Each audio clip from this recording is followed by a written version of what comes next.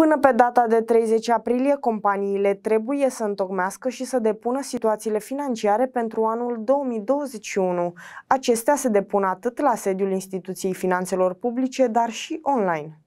Situațiile financiare anuale trebuie să fie însoțite de anumite rapoarte atunci când trebuie depuse la unitățile organelor fiscale. Conform unor modificări recente ale legii contabilității, companiile care nu depun rapoartele obligatorii riscă să fie amendate cu până la 4500 de lei. Administrația Județeană a Finanțelor Publice Medinți aduce la cunoștința publicului faptul că data de 30 aprilie 2021 este termen limită pentru depunerea situațiilor financiare anuale pentru anul 2020 de către anumite categorii de contribuabili, cum ar fi instituțiile publice, asociațiile, fundațiile și alte persoane juridice fără uh, scop patrimonial, de asemenea pentru subunități al unor persoane juridice din străinătate.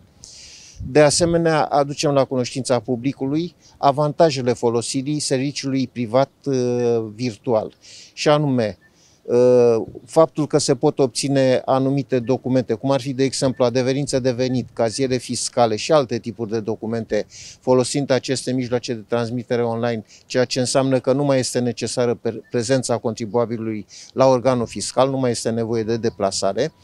De asemenea, se pot depune diferite tipuri de declarații fiscale, cum ar fi, de exemplu, declarația unică, la fel, fără deplasare, direct de acasă.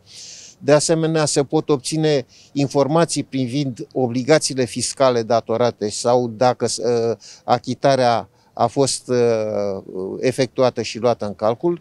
De asemenea, se pot obține alte informații fiscale, cum ar fi, de exemplu, noutățile legislative. Situațiile financiare anuale oferă o imagine fidelă a poziției financiare, a performanței financiare și a celorlalte informații referitoare la activitatea desfășurată.